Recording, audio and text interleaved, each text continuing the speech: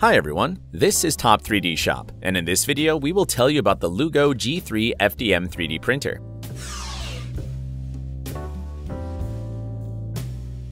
Developed by the South Korean company Lugo Labs, the Lugo G3 is a dual extruder machine, carrying several in-house developed engineering innovations, such as a dual cone-shaped head or DCH and a purge box mechanism.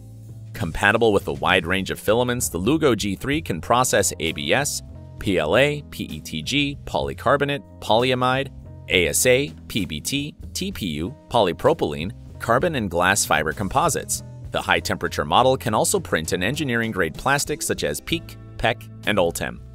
The design of the DCH extruder eliminates the need for double calibration and allows for precise temperature control of each nozzle. This solution simplifies printing with two materials with different melting temperatures and expands the applications of the 3D printer. The DCH printhead is equipped with 0.4mm nozzles with the maximum operating temperature of 285 degrees Celsius. Another version of the printer, the G3HT, can process high-temp materials with the extruder heating up to 400 degrees.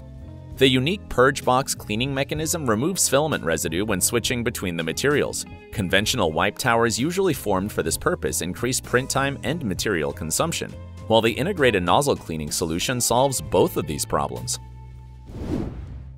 The Lugo G3 is equipped with a heated bed with a double-sided build plate. One side is coated with carbon fiber and the other with PEI.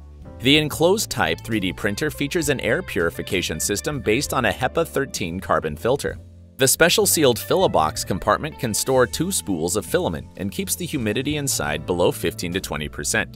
To prepare files for printing, the manufacturer recommends Lugo Cura, a proprietary version of the popular slicing software.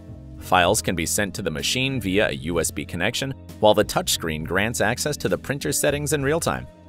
This is Top 3D Shop with the Lugo G3 FDM 3D printer overview. Subscribe to our channel, leave comments, and hit the like button if you've enjoyed the video. See you soon.